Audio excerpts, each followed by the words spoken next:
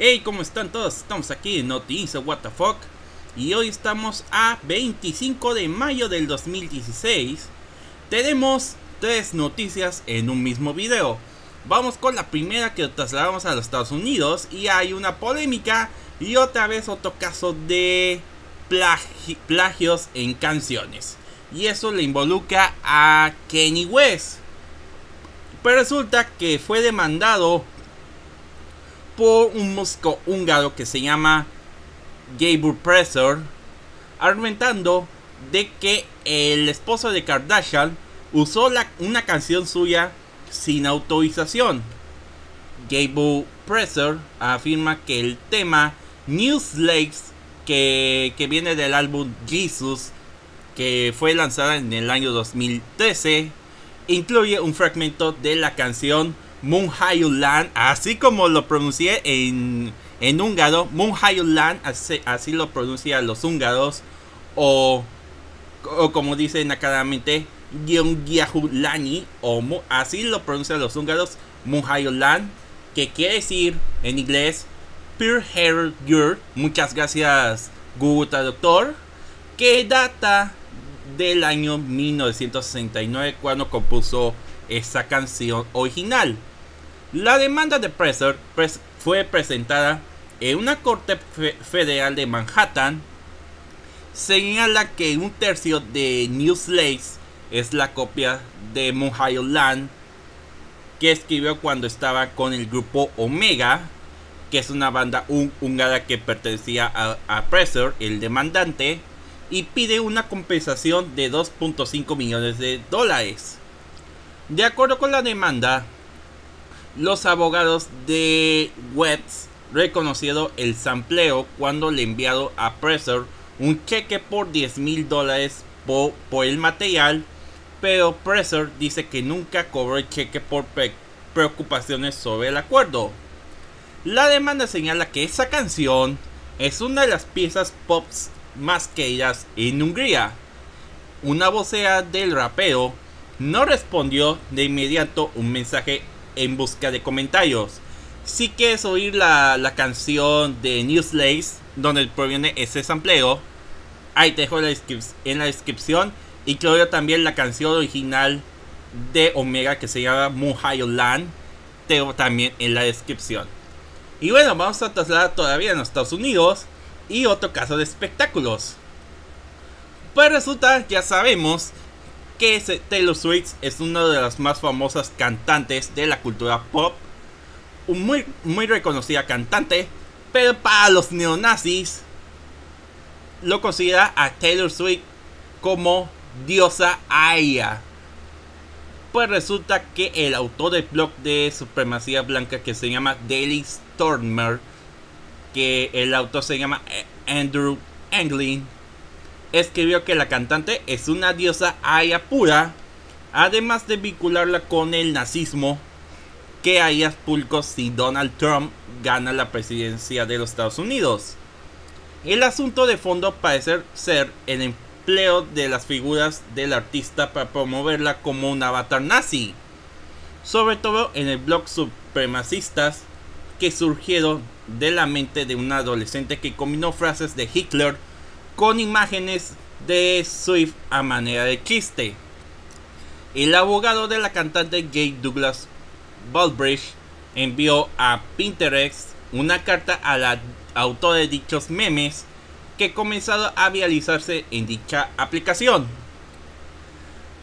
Dice que la asociación entre la señorita Swift y Hitler es indisputablemente abusiva, dañina, étnicamente ofensiva y humillante para otras personas. Eso lo indica parte de la misiva. Las figuras públicas tienen derechos. Ya resulta que no es un secreto que el nacionalismo radical y extrema derecha ha comenzado a resurgir no, no solo en Europa, donde incluso ha ganado elecciones, como en caso de Francia y Austria, en Estados Unidos el revival tiene acompañado de la figura de Trump con su discurso, discurso xenófobo, hacia los mexicanos y latinoamericanos y no solo también a los musulmanes que, que para mí es inaceptable estos discursos racistas. A ver ustedes qué opinan de eso, dejen en los comentarios. Y hablando de xenofobia, racismo y cosas de ultraderecha, nos trasladamos a, a Alemania. Y nos aparecemos en esta imagen. Y es de una campaña promocional de Kinder Chocolate de la filial alemana. Promocionando con caras de los jugadores de la selección alemana cuando eran niños. Y eso le causó molestia por sectores ultraderechistas. Por ejemplo, el movimiento xenófobo Pegida que, que, o patriotas europeos contra la islamización de Occidente, que le ha dado un dolor de cabeza y criticado la promoción de, la marca de Kinder Chocolate para, para Eurocopa, con los rostros de jugadores de la selección alemana, argumentando de que, de que son de origen extranjero.